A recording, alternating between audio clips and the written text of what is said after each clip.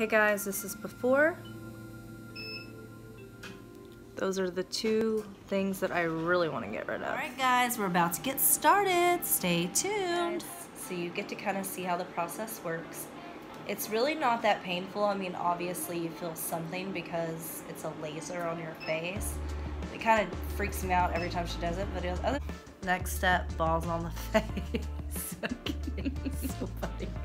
I really, it actually does feel really good, and I'm not gonna lie, I think this is my favorite part of the facial so far.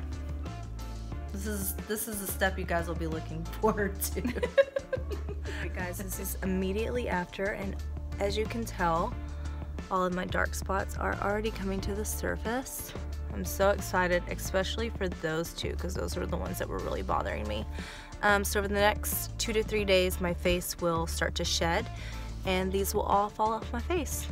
Be looking 10 years younger, baby. Okay. So I'm freshly out of the shower, but this is what my face looks like um, eight days after my first photo facial. As you can see, a lot of it has gone away. So the peppering where the dark spots were, um, it's slightly falling off. And then my forehead, you can still see some of the peppering.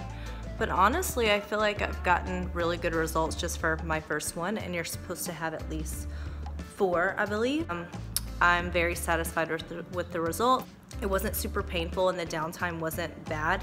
I just put makeup on every day so that it covers up um, a lot of this. So if you want to try it, I think you should because I loved it.